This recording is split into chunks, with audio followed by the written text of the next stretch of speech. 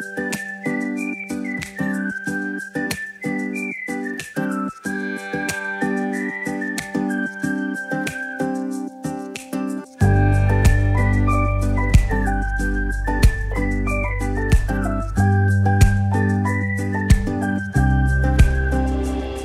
Thì đối với sự phát triển của trẻ thì hoạt động cá nhân của trẻ sẽ giữ vai trò quyết định. Và bản thân trẻ cùng với ba mẹ của mình khi được tham gia vào các cái trò chơi của board game, nó sẽ giúp trẻ phát triển một cách khá đầy đủ tất cả các hệ thống, các kỹ năng. Điều đầu tiên đó là cái việc hỗ trợ trẻ trong cái quá trình nhận thức, trong việc là tiếp nhận các cái nội dung, các cái kiến thức mà nó đến từ trong chính cái tình huống chơi và cái nhiệm vụ chơi mà board game mang đến cho trẻ. Tuy nhiên, quan trọng hơn cả cái việc đó là trẻ đạt được thành tích trong board game cái quan trọng ở đây ở board game đó là trẻ được tương tác trực tiếp với ba mẹ của mình và từ đó hình thành nên toàn bộ cái nền tảng về vấn đề xúc cảm, tình cảm và hệ thống các mối quan hệ xã hội thông qua việc trẻ được cùng với ba mẹ của mình hoàn thành các cái trò chơi trong board game.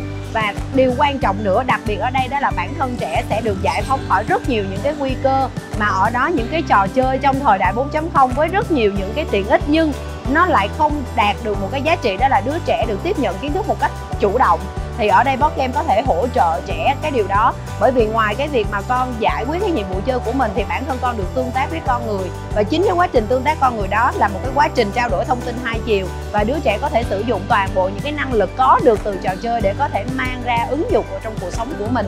Từ tất cả những cái vấn đề từ tư duy, nhận thức cho đến các yếu tố thuộc về xúc cảm, tình cảm và đặc biệt một điều, đó là hành vi và khả năng suy luận giải quyết vấn đề của trẻ.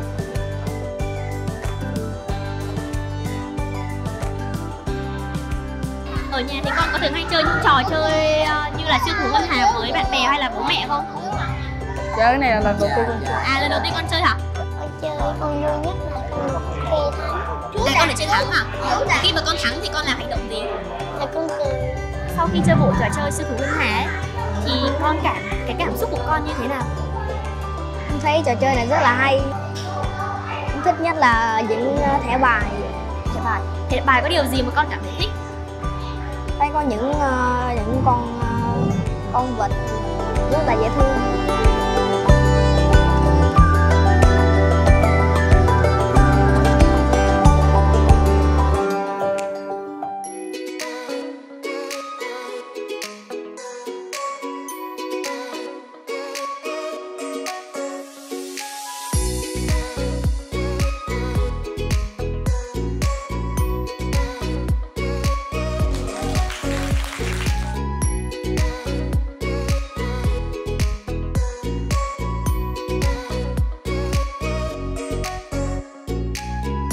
Mình đến với chương trình này mình rất là hưng, hào hứng về môn toán tư duy.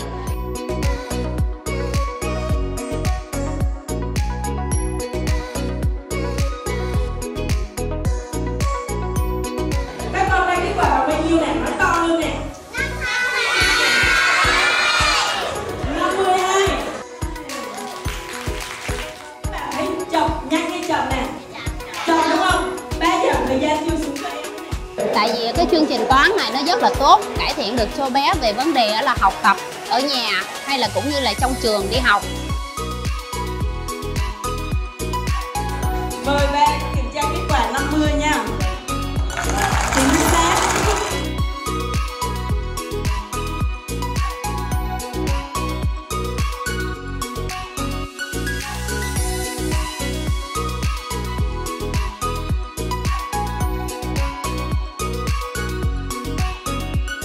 Bản thân ảnh hôm nay thì ảnh rất là hứng thú ở phần mà hứng thú nhất à, là cái phần à, về về tài chính cho trẻ em.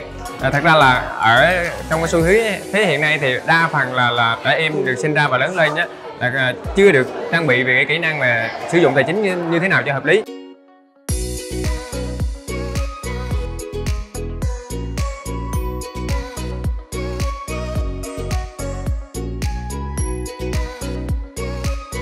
Tôi rất hy vọng là mọi người hiểu được giá trị cốt lõi của board game trong việc giáo dục trẻ sớm và giáo dục trẻ toàn diện. Và điều quan trọng nhất mà tôi muốn nhấn mạnh đó chính là việc bắt xuất phát từ gia đình, từ phụ huynh. Chúng ta phải cùng chơi với con và cùng hiểu con cũng như là cùng con phát triển những kỹ năng như vậy.